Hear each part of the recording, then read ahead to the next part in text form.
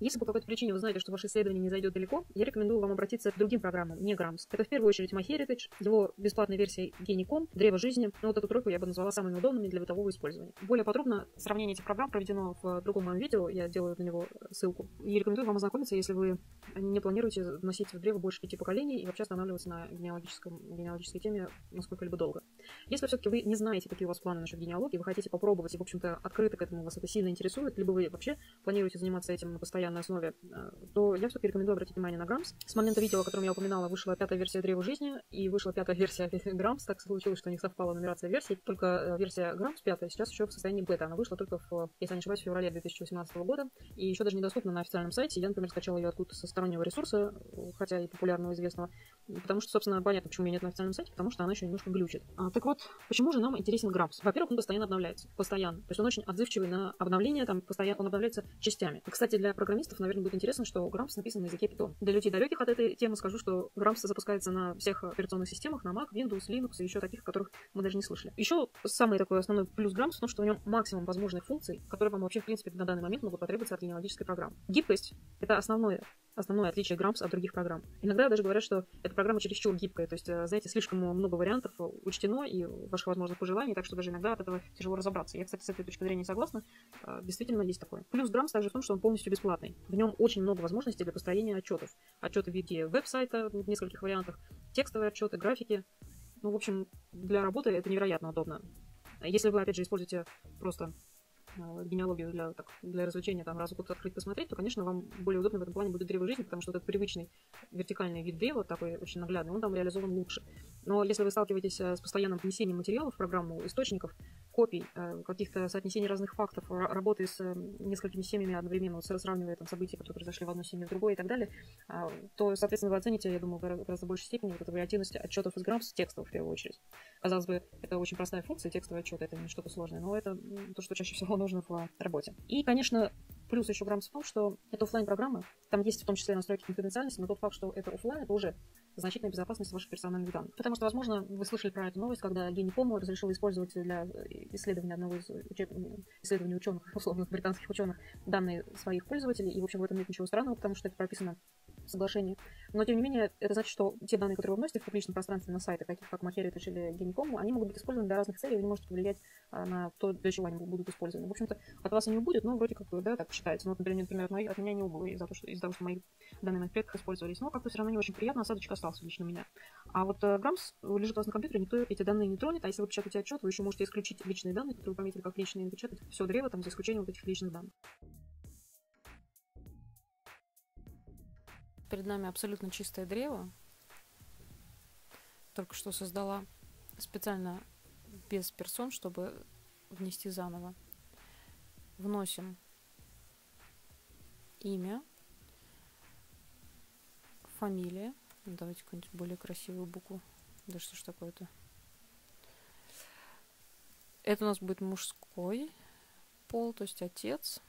А здесь сразу попробуем внести рождение – Допустим, юлианский. Допустим, если вы еще не включили э, на этот момент скорость умножить на 2, такую как бы в два, раза ускорить в Ютубе, очень советую, так быстрее будет смотреться. Да что ж такое-то? А, у меня что-то здесь отключено сейчас. Да. Так, тысяча...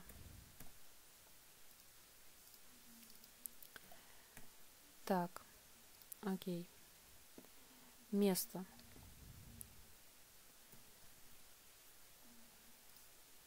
Деревня входит в, соответственно,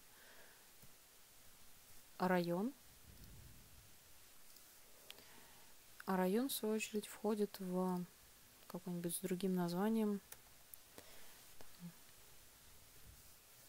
область и так далее, вплоть до страны. Как вы видите, перемещаться можно не только из э, основных э, левых полей, да, то есть где у нас можно отдельное место внести и потом прикрепить его к человеку, но можно из одной из вкладки персоны а, переместиться по всем, по источникам, по заметкам, по местам, э, без лишних телодвижений. Это очень удобно. на практике. То есть вы совершаете, не совершаете двух лишних движений, и это вам экономит в итоге час времени, условно говоря. Если мы знаем, а мы, как правило, если вносим, то знаем, откуда мы получили информацию о этом событии, то мы выбираем источник. В данном случае у нас нет источника, поэтому мы его создаем. Допустим, это будет метрические по какой-либо церкви, да, но вот мы их так назовем. Добавим хранилище. Мы знаем, что это метрическая книга, то есть рукопись, скорее всего, в таком-то архиве. Архив называется там так-то. Больше ничего можем не указывать. Создали источник, делаем из него цитату. Допустим, это метрическая книга, то есть достаточно высокая вероятность. Указываем, что листы такие-то. Приводим расшифровку нужной записи. Можем сделать ее очень красивой. Если нам по какой-то причине надо там поменять шрифт, сделать цвет фона. Ставим галочку, чтобы она именно такой осталась. И если бы это была не расшифровка, а, например, исследование, то есть какая-то информация, которую родственникам мы не хотим предоставлять, и не хотим, чтобы она попала в отчеты, ну, например, это какая-то наша техническая информация, ставим приватное, все, никто больше не увидит этого, кроме вас. Но у нас это расшифровка. Из, в галерею добавляем изображение, здесь ничего сложного показывать не буду. Обратите внимание, что можно кадрировать изображение, если это фотография, то можно выбрать нужную область. Атрибуты можно тоже менять. То есть можно написать, например, здесь шифр дела и добавить его.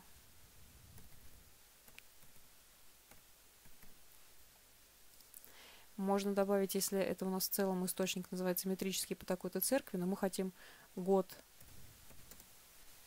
метрической книги указать, указываем.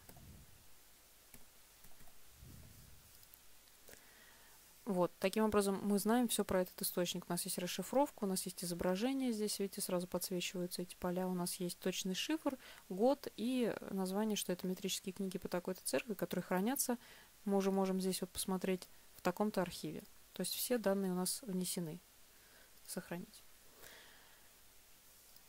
Рекомендую много в события не вносить, а дублировать, если что-то вносите в событие, дублировать обязательно во вкладке персоны, потому что так это попадает в отчеты более наглядно. То есть любые заметки могут попасть в отчеты, но вы, если хотите, чтобы они были на виду, прямо связывались вторым уровнем после персоны в отчетах текстовых, то лучше сделать это так. Заметки тоже сюда можно дублировать, либо создавать заново. Вот. Если мы вносим женщину, то всегда возникает вопрос с именами. Точнее, с фамилиями. В данном случае у нас будет основной фамилия в браке. Вот здесь тип – это то, как будет отображаться в списке. Если мы хотим, чтобы в списке женщины сортировались по их э, фамилии по замужеству, после замужества, то тогда выбираем в браке. Здесь у нас фамилия принятая. И можем добавить вот так вот девичью фамилию. Вот она по рождении. Но поскольку тип у нас в браке, главное стоит принятая фамилия. Все точно, все остальное, в общем-то, ничем не отличается от мужчин. Как мы создаем семью, мы выбираем здесь отца, выбираем здесь мать, если по какой-то причине, типа отношений, если по какой-то причине вы много опираетесь на семью, например, у вас дворянская семья, вы исследуете всех э, сиблингов, не, не обязательно только прямых ваших предков, но всех его братьев и сестер, постоянно обращаетесь к одной и той же семье, то имеет смысл сюда дублировать и больше добавлять э, цитат и заметок по семье, потому что ну, часто в документах, например, отображаются и братья, и сестры. А если вы вносите только там одного человека или вносите многих, но важен вам только один, то, конечно, лучше сюда не, не тратить время на то, чтобы здесь заполнять сведения.